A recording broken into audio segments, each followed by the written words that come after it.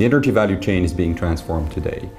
The key driver for that transformation is the integration of renewable energies into, into the grid.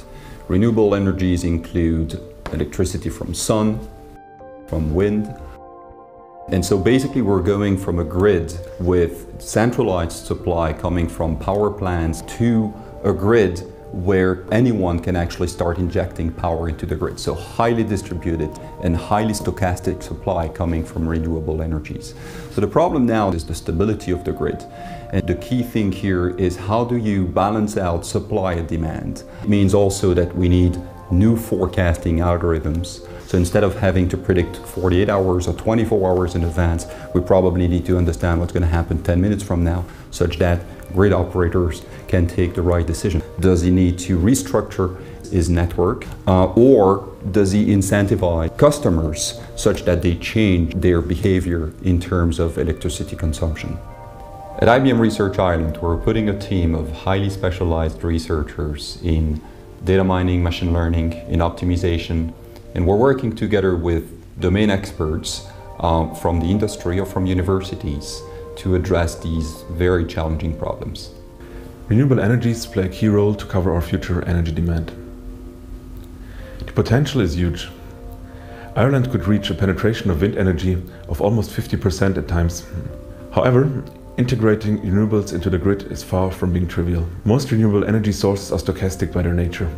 Production of renewable energy is often highly distributed, making it challenging to use existing infrastructure designed for centralized energy generation and distribution. ESB Networks is the distribution operator and asset owner for the Republic of Ireland, and we're also owner of the, the transmission networks. What we're doing with IBM Research Ireland is we're looking at how we're going to manage data in the future electricity business. So basically what we're looking at is all the data that's going to be collected from smart meters in Ireland. Say for example we'll have 2,200 smart meters deployed to individual customers.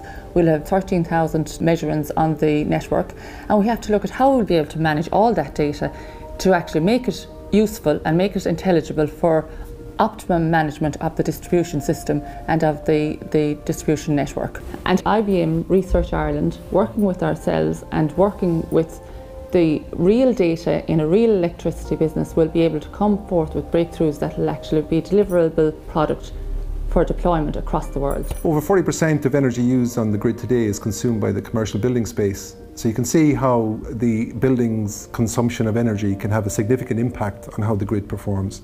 So the smart building research effort targets the significant energy users within commercial buildings uh, but research tools are being developed that will help the energy consultants to quickly pinpoint the relevant assets. And not only will you achieve obvious energy savings by being more energy efficient, but most importantly by having the ability to control and actively change a building energy demand profile in real time, you can achieve energy cost savings. HVAC is probably the most significant energy user within any building. So targeting research effort at establishing deeper understanding of how energy is used in this environment will lead to significant energy saving. Well, what GIA and Aspect found was that IBM's analytic capabilities and ability to capture and use air domain expertise to validate the operation of air equipment was an extremely powerful tool.